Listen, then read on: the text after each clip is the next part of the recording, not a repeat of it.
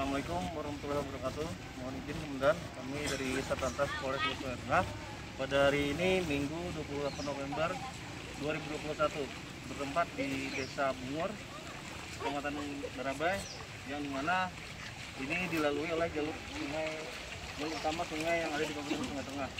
Untuk kondisi sungai sudah meluap, air sudah memasuki jalan menyeberang sehingga diperkirakan akan terjadi banjir di Barabai karena di gunung untuk debit air masih tinggi. Eh, dihimbau kepada para pengguna serta masyarakat agar persiapan karena tidak menutup kemungkinan Barabai akan terjadi banjir. Kami dari Satlantas Polres ST akan selalu berpatroli melihat kondisi dan perkembangan eh, debit air yang ada di Kota Barabai. Perkembangan lebih lanjut akan selalu kami laporkan. Demikian yang disampaikan. Assalamualaikum warahmatullahi wabarakatuh. Salam presisi.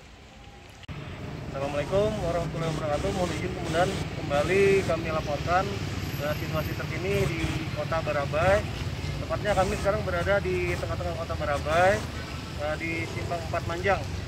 Pada hari ini Minggu tanggal 28 November 2021. Untuk kondisi air sudah meluap dari bibir sungai sudah masuk ke jalan eh, dengan ketinggian kurang lebih 30 cm sampai 50 cm.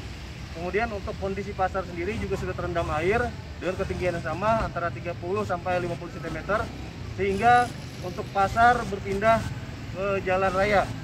Kami himbau kepada pengguna jalan yang akan melewati Kabupaten Hulu Sungai Tengah yang dari Banjarmasin menuju Kabupaten Tabalong kami sarankan untuk melewati jalur lingkar Walangsi karena di jalur kota ada sedikit terjadi kepadatan dikibatkan pasar tumpah demikian yang bisa kami sampaikan. Eh, tetap patuhi peraturan berlalu lintas dan tetap hati-hati di jalan. Salam presisi assalamualaikum warahmatullahi wabarakatuh.